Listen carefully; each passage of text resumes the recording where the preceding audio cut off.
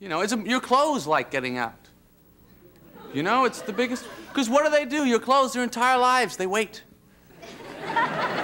Everything in your wardrobe that you're not wearing right now is home, waiting, hoping to get picked tomorrow. That's what.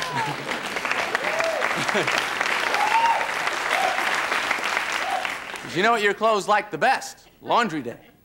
You know, that's when they get to do things and you wait for them.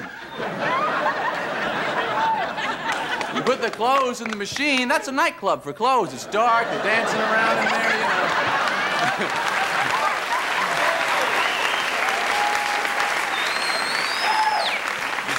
they always seem to be having such fun. The shirt grabs the underwear. Come on, babe. And then an article, there's always an article from someone else's laundry, ends up in yours. Hey, who's that? Good dance.